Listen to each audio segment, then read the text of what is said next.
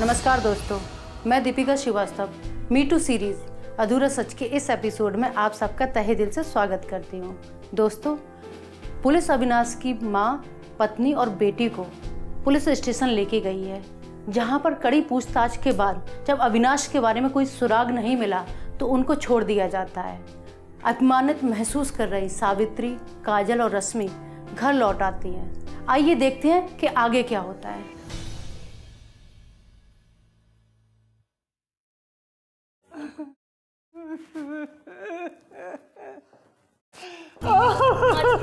क्या हुआ? बेटा पानी लेकर आओ। बेटा अब होने को बचा ही क्या था? अविनाश की वजह से आज पुलिस स्टेशन का भी मुँह देखना पड़ गया।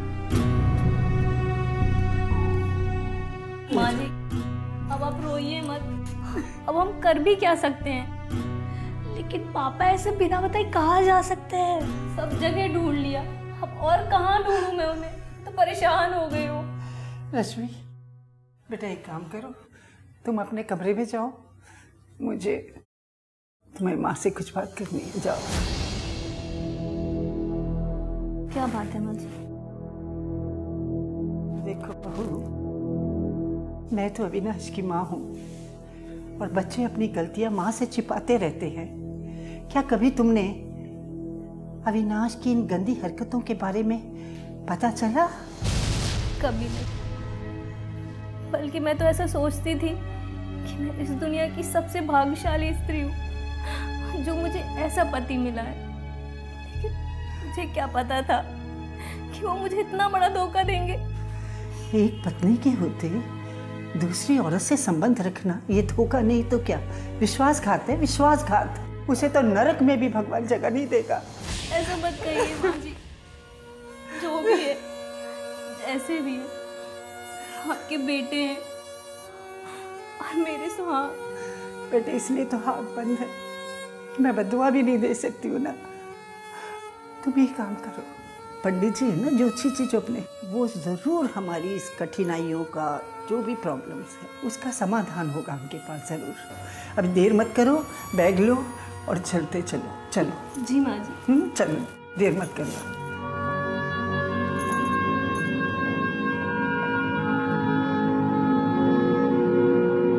गणपति बप्पा मोरिया मंगल मूर्ति मोरिया हमारे सारे विघ्नों को दूर कर दीजिए।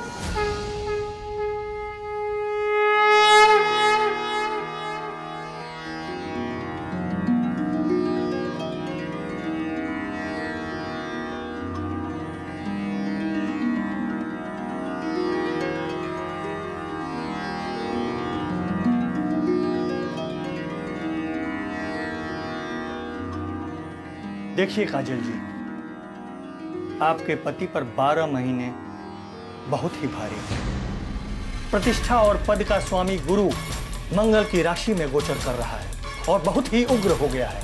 इज़्ज़त तो बाज़ार में उछलेगी। लेकिन पंडित जी कोई तो उपाय होगा।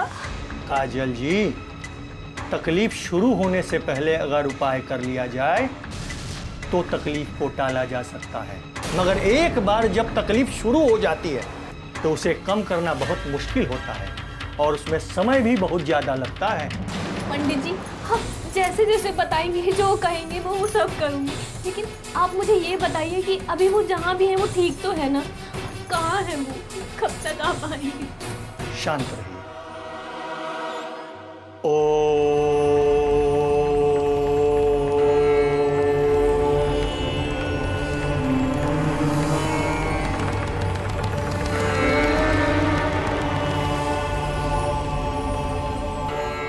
शहर से दक्षिण पश्चिम के कोने पर अपने बहुत ही प्रिय और गोपनीय जगह में सारी दुनिया से छिपे हुए परंतु घोर मानसिक अवस्था से ग्रसित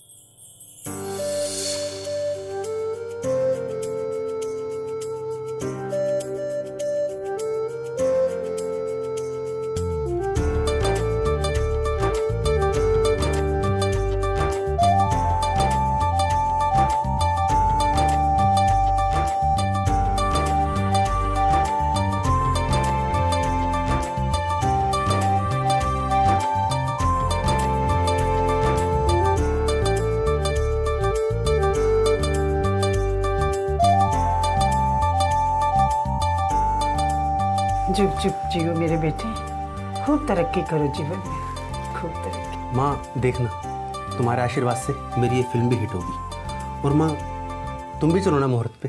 पूरी यूनिट बहुत खुश होगी। बेटे काजल जा तो रही है तुम्हारे साथ। और मेरी तबीयत भी कुछ ठीक नहीं है बेटे। मैं घर चली जाऊँगी। माँ घर पे करोगी क्या? अब तो रश्मि घर पर नहीं है। इतना सोचना था तो पहले सोचना था ना मेरी गुड़िया को बोर्डिंग स्कूल में भेजने से पहले। क्या मुंबई में पढ़ाई अच्छी नहीं होती? वो मेरे साथ रहती थी घर पे तो मुझे बाहर जाने आने में अच्छा लगता था। और अब तो मैं घर में ही ठीक हूँ बस। माँ अब तो उसका एडमिशन हो गया है पर मैं तुमसे वादा करता हूँ सातवीं पास होने के बाद उसका एडमिशन मुंबई के किसी अच्छे स्कूल में करा दूँगा। अब तो मुस्कुरा दो। ठीक है ठीक है। जल्दी कर बाहर काजल कार में इंतज़ार करी देगा जा। अच्छा माँ चलता हूँ मैं। All the best sir thank you Neeta office का ध्यान रखना। पक्का सर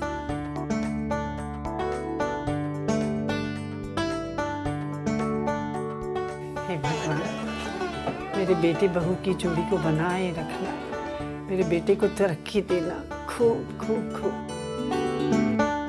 जानते हो अविनाश? कभी कभी ना मेरा मन करता है कि मुझे भी फ़िल्म में एक्टिंग करनी चाहिए। अरे बाबा ऐसा क्यों होने लगा है तुम्हारे मन में? ताकि मैं तुम्हारे साथ ज़्यादा से ज़्यादा समय बिता सकूँ। और वैसे भी अभी रश्मि भी बोर्डिंग स्कूल चली गई है तो अब तो मैं थोड़े शौक अपने पूरे कर सकती हूँ ना?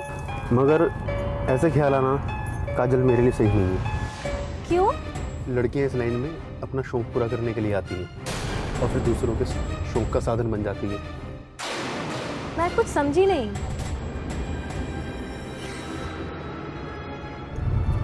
लेकिन कौन करता है इनका इस्तेमाल? जिसे जब मौका मिल जाता है। अविनाश औरतें तो हमेशा से इस्तेमाल होती आई हैं। कभी माँ बनकर कभी बीवी बनकर कभी बहन बनकर तो कभी बेटी बनकर। और इस दुनिया को जब भी मौका मिला है तो वो तो औरतों की कोमल भावनाओं का इस्तेमाल करते ही हैं। देखो काजल मैं किसी बहस के मुद्दे पे नहीं जाना चाहता। मैं नहीं चाहता कि मेरी बीवी किसी नुमाइश का साधन बन जाए। लेकिन फिल्मी एक्ट्रेसेस की कितनी इज़्ज़त होती है वो तो देखो। काजल ये एक्सपोज मीडिया है और मैं तुम्हें ना अपनी जान से ज़्यादा प्यार करता हूँ और अपनी आँखों में बसा कर रखना चाहता हूँ। ठीक है बाबा अब मेरा पति मुझसे इतना प्यार करता है तो उसके लिए मैं कोई भी कुर्बानी दे सकती हूँ।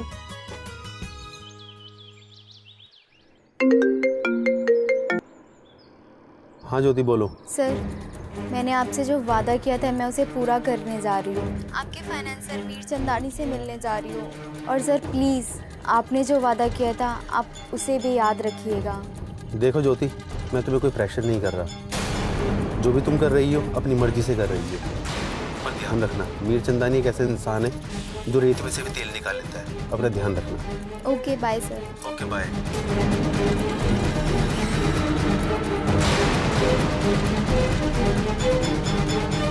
क्या बात है? कौन है ये ज्योति? तुम नहीं समझोगी। ये फिल्मी बातें हैं।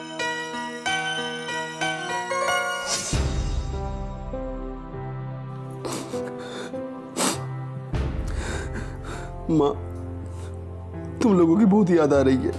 अच्छा बेटा नहीं हूँ ना मैं तुम्हारा। अच्छा बेटा नहीं हूँ। काजल अच्छा पति नहीं हूँ मैं तुम्हारा। नहीं, रश्मि, कभी अच्छा बाप नहीं बन पाया। बहुत याद आ रही है माँ। तुम लोग मेरी लंबी उम्र के लिए दुआएँ मांगते रहे। और मैं तुम्हें धोखा देता रहा।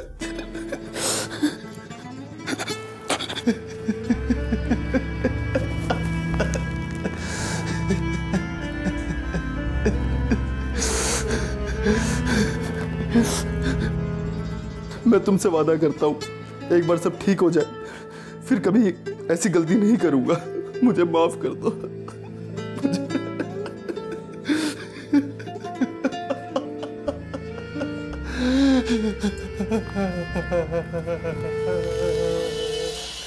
दोस्तों, एक कहावत तो आपने सुनी ही होगी। कहते हैं ना, अब पछताए होत क्या जब चिड़िया चुग गई खेत। अविनाश भी इसी तरह पछता रहा है।